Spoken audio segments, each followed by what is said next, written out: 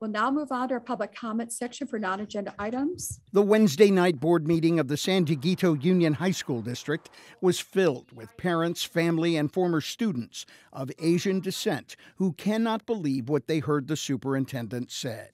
Just want to say your words deeply hurt me, hurt my family, and also discredited my kids that what they did, what they worked so hard for. The comments were made by Dr. Cheryl James Ward during a district diversity, equity, and inclusion training last week when she characterized and credited the success of the district's Chinese students to wealthy parents and extended Asian families able to support them, unlike other minority groups that can't, she said.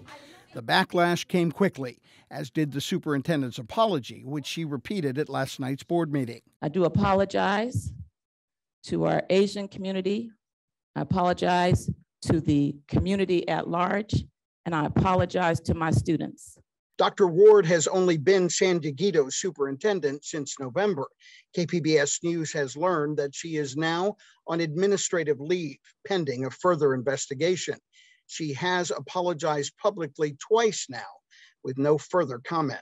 We're becoming a no place for hate district. Every school is a no place for hate um, school now. In January, she did speak about her plans for revitalizing the district's efforts in diversity training and awareness, following a couple of incidents of hate graffiti sprayed on walls at San Dieguito Academy. To ensure that our staff understands what it means to be um, an anti bias educator, what it means to understand their own um, biases, and that the, the, the work is is ongoing. Not everyone is demanding a resignation. Molly Woods Drake is president of Encinitas for Equality. I believe the approach is counsel, not cancel.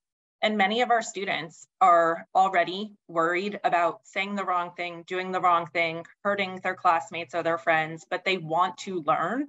Yusuf Miller is with the North County Equity and Justice Coalition. If we have more inclusive thought, if we have more um, diverse thought and, and knowledge about different groups, this type of statements would have never come out. My bottom line is uh, we request Dr. Wards to resign. The San Diego School Board will have the last word on the superintendent's future.